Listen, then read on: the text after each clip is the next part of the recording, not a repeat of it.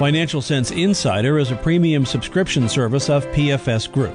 The following is a free preview of today's insider interview.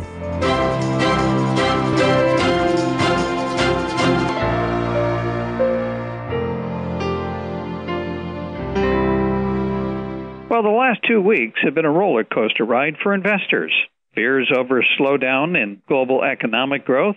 We've got problems in the Middle East. Now we have turmoil in the market. One week down, one week up. Joining us on the program is Satyajit Das. And you know what the irony of this, if we look at the last decade, Das, most of the growth was driven by emerging markets, especially China. The U.S. was sort of the slow grower. We had decent growth, but compared to, let's say, the growth rates that we were seeing in China, where they were double digits, the emerging markets were high single digits. Now you have a situation out of all the leading powers, whether you're looking at Europe or Japan, the U.S. seems to be the most stable and the best looking house. Well, I think there's some very, very good reasons for that. Some very legitimate and some probably a little more dubious. I think the interesting thing about the US is people forget the US is actually quite an isolated country in the sense that it doesn't rely as much on, say, trade as, say, Europe does Japan or China does.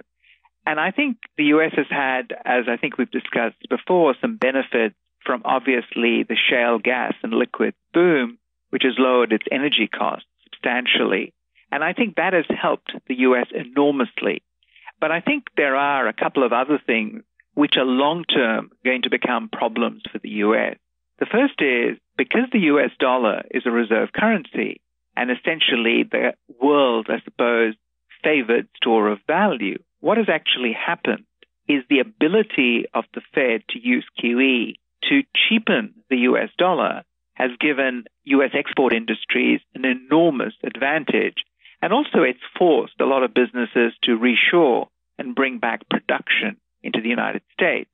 Now, the problem with those strategies is that particularly the strategy of QE or what I call now competitive QE and devaluation is that when you have Europe, Japan, and China starting to actually increase the inflow of liquidity with one of the objectives being to cheapen their currencies, then obviously that advantage that the U.S. has is somewhat diminished.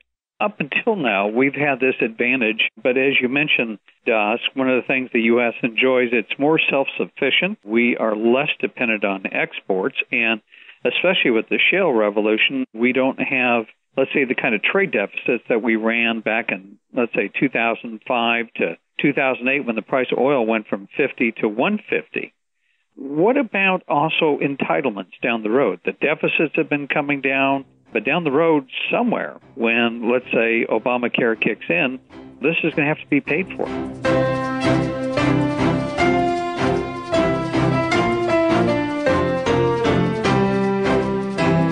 Hi, everybody. John Loeffler here. You know, you've just been listening to a free preview of the Financial Sense Insider Premium Edition.